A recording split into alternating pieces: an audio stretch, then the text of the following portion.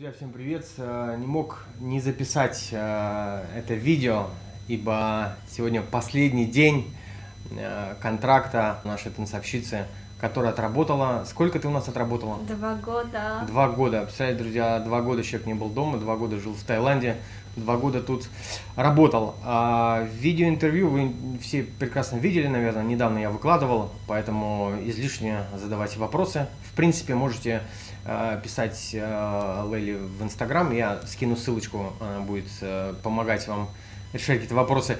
Тем не менее, э, Ирина, вот ты уезжаешь домой, два года отработала. Буквально вот пару слов э, значит, девочкам, которые собираются к нам, что ты можешь сказать? Стоит, не стоит ехать? Что это вообще было? Что произошло вообще с тобой за два года? Я скажу, что я здесь кардинально изменилась и внешне, и морально, морального плана, и плюс это место идеальное место для старта. То есть, если вы ничего не умеете, то здесь у вас предоставлено все, чтобы научиться и потом стартовать другие места. Просто идеальное место. А в- плане э, вот обучения, работы, ну что, вот девочки собираются, испуги, страх, интим, секс, там принуждают, не смогу заработать деньги. Что, вот Обучение бесплатное здесь, меня учили и танцам, и английскому, и менеджера поддерживали, помогали. Вот, по поводу интима, рабства и принуждения всех этих, это вообще полный миф, потому что здесь такого нету, А не ехала- приветствуется. И за это вообще штрафуют, и еще и со штрафом еще и отправляют домой, так что с этим... а ехала боялась этого? Я, в принципе, увидела просто строку строго без интима, и что за это штрафуют и депортируют. И я по- поверила просто на текст, на видео, все, что я увидела в группе, и поехала.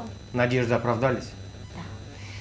Понятно. Ну, уезжаешь ты от нас, э, как это, со слезами на глазах? Это как дом родной. Уже, да? Это как будто я домой э, еду в гости, как бы вообще, не знаю, отпуск за Классно. границу отсюда, а не сюда. Слушай, ну круто, на самом деле, да, что вот, ну, действительно, встречать э, таких сотрудников и, собственно, провожать, да я как, как, как вожатый здесь, знаешь, как в лагере, да, то есть встретил, проводил. Ну, классно, круто. Слушай, ну, в любом случае, все мы, в том числе и я, желаю тебе успехов в дальнейшей твоей жизни. Вот. И последний маленький немаловажный вопрос. Нередко меня спрашивают, вот, ставку в конце контракта не получаешь или там не выдают, все типа куда-то там сожралось, куда-то пропало. Ты сегодня ходила за расчетом бухгалтеру. Да, Получила деньги? да. Стесня- Я скажу, что я тоже слышала о таких разговорах, Так. э, и что не все выплачивают, но я сверялась с тем, что я знала, за что мне снимут, Мгм. и с тем, сколько я получу. Твои И косяки. да, мои косяки.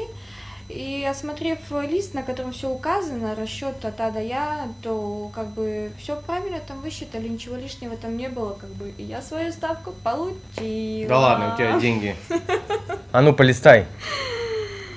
Ну-ка, ну-ка. Денег, денег. Ну вот, друзья, видите, люди Так получают... Что без денег я домой не уеду.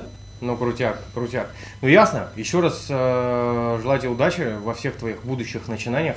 Вот, э, ну и надеюсь, вдруг, может быть, приедешь, а может быть, нет. Ну, не это страшно. место нельзя не вернуться. Это Да. просто любовь. Ну, классно. Ну, все, давай. Всего доброго. Пока-пока.